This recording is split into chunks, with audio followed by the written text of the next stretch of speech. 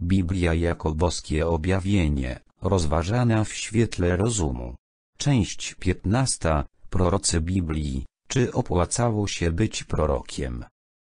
Przypatrzmy się teraz ogólnemu charakterowi proroków Biblii oraz ich świadectw.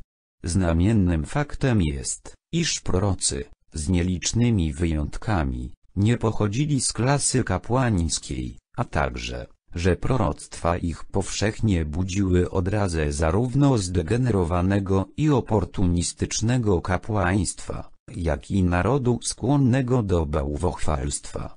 Istotą ich posłannictwa od Boga do ludu było zazwyczaj strofowanie za grzech powiązane z ostrzeżeniem o nadchodzących karach i przeplatane od czasu do czasu obietnicami przyszłych błogosławieństw, jakie miały nastąpić po ich oczyszczeniu z grzechu i powróceniu do pańskiej łaski.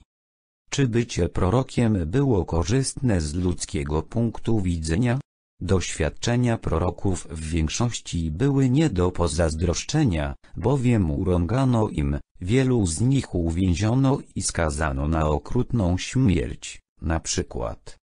Pierwsza Królewska rozdział 18 wersety 4, 10, 17 i 18, kiedy bowiem Izabel mordowała proroków Pana, Obadiasz stu z nich uratował. Ukrył ich po pięćdziesięciu w jaskiniach, dostarczając im żywność i wodę. Przysięgam na Pana, Twego Boga, nie ma takiego narodu ani królestwa, w którym Pan mój nie kazałby Cię szukać.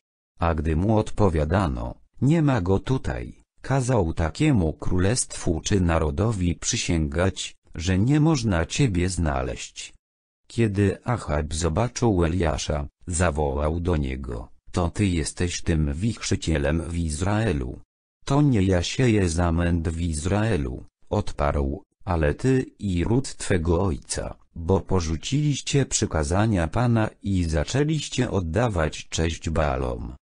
Pierwsza Królewska rozdział 19 werset 10 Żarliwie obstawałem przy Panu, Bogu zastępów, odpowiedział, dlatego, że Izraelici porzucili przymierze z Tobą, poburzyli Twoje ołtarze, wybili mieczem Twoich proroków i zostałem ja sam, ale mnie także chcą pozbawić życia.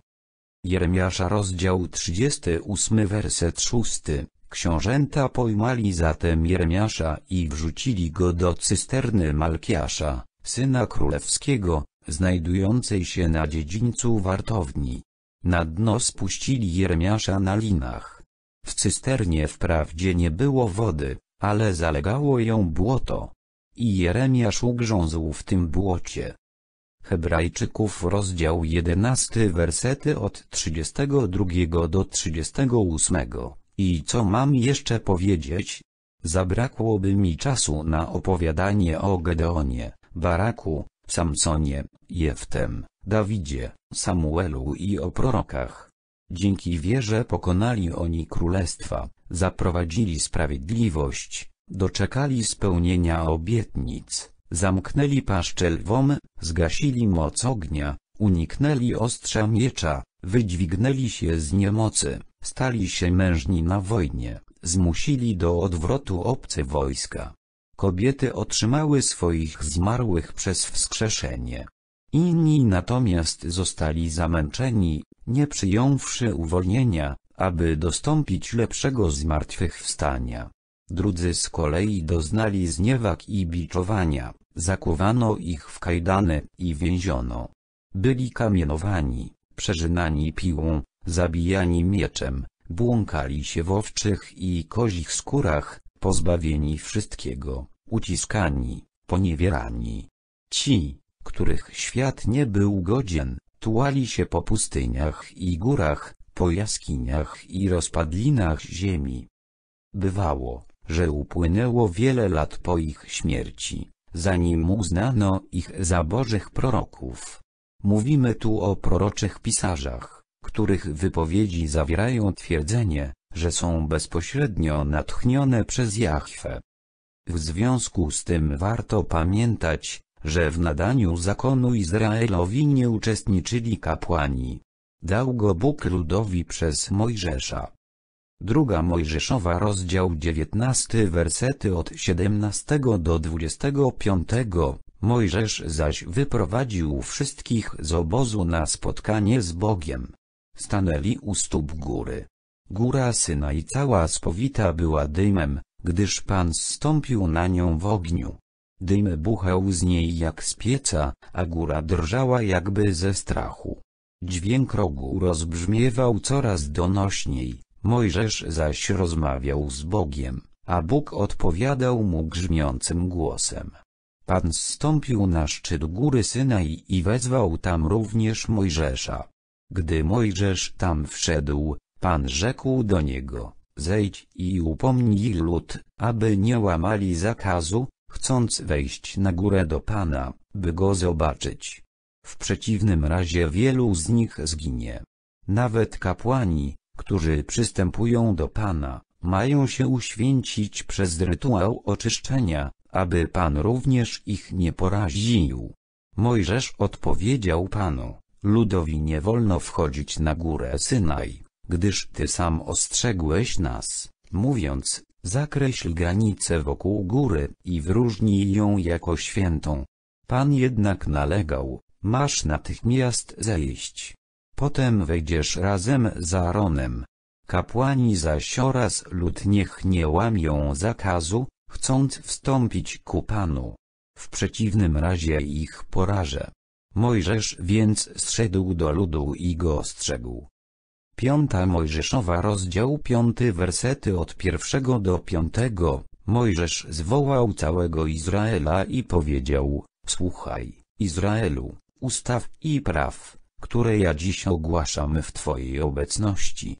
Nauczcie się ich i dopilnujcie, aby je stosować. Pan, nasz Bóg, zawarł z nami przymierze na chorebie. Zawarł je z naszymi ojcami. Pan zawarł to przymierze z nami, z nami wszystkimi, którzy tu dziś jesteśmy żywi. Pan rozmawiał też z wami twarzą w twarz, na górze, przemawiał spośród płomieni. Ja w tym czasie stałem pomiędzy Panem a wami, by obwieszczać wam słowo Pana, gdyż baliście się ognia i nie wstąpiliście na górę. Ponadto każdy Izraelita był zobowiązany do strofowania tych, którzy naruszyliby zakon. Trzecia Mojżeszowa rozdział 19 werset 17 Nie będziesz chował w sercu swoim nienawiści do brata swego. Będziesz gorliwie upominał bliźniego swego, abyś nie ponosił za niego grzechu. A zatem wszyscy byli upoważnieni do nauczania i napominania. Ponieważ jednak większość była, jak to się też dzieje w naszych czasach, zaabsorbowana troską o byt i stała się obojętna i bezbożna, tylko stosunkowo niewielu zastosowało się do wymagań, by strofować grzech i nawoływać do pobożności, a tych określano mianem proroków zarówno w Starym, jak i w Nowym Testamencie. Jeżeli chcesz otrzymywać informacje o kolejnych treściach zamieszczanych na kanale, zasubskrybuj i wciśnij dzwoneczek znajdujący się obok przycisku subskrypcji. Dziękujemy też za wszystkie polubienia, udostępnienia i komentarze.